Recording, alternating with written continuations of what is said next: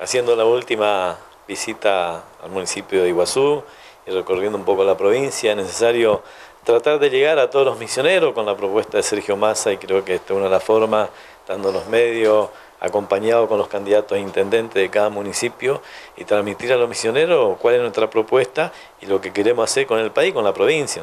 Bueno, nosotros hoy venimos a comprometernos con los misioneros de Puerto Iguazú, decirle en primer lugar a nuestros jubilados que el 82% móvil es una realidad a partir del 10 de diciembre, eh, más allá que el oficialismo por ahí plantea y de dónde van a sacar la plata, también le queremos explicar a los misioneros de dónde vamos a sacar los recursos para que el 82% móvil para los jubilados nacionales y provinciales sea una realidad y que de esa forma devolver la dignidad a estos trabajadores que trabajaron 40 años y que hoy uno que está preso gana más que un jubilado.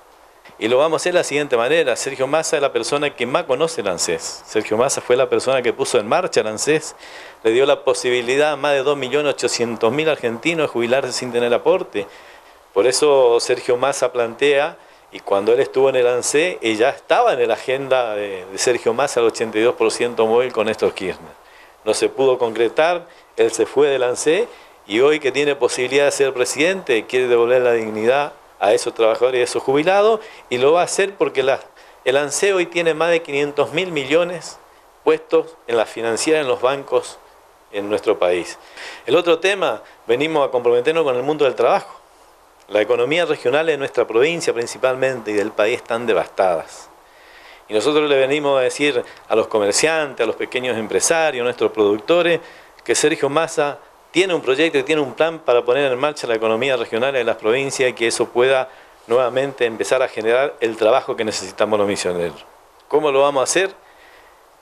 Eh, el doctor Labaña ya planificó que en cuatro años le vamos a sacar el 30% de la presión impositiva que hoy tiene la economía regional en todo el país.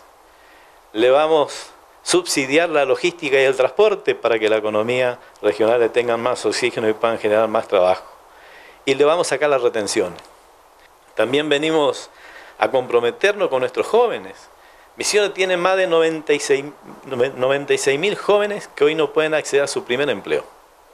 Chicos que, que estudiaron, que se prepararon con mucho esfuerzo de sus padres, de su familia y que hoy ven llorar a sus madres porque tienen que emigrar a otro lado porque no tienen trabajo en esta provincia. Nosotros le venimos a decir a esos 96 mil jóvenes de esta provincia, Sergio Massa tiene definido cómo va a generar esos 96 mil puestos de trabajo en esta provincia en tres etapas. No solo le vamos a favorecer a los jóvenes que van a tener un trabajo, le vamos a favorecer al comerciante, al pequeño empresario, a nuestros productores. ¿Y cómo lo vamos a hacer?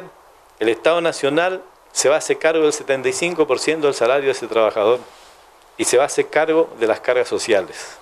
Lo único que le vamos a pedir a cambio al empresario es que durante tres años le mantenga la relación laboral para que definitivamente él pueda ingresar al mundo del trabajo.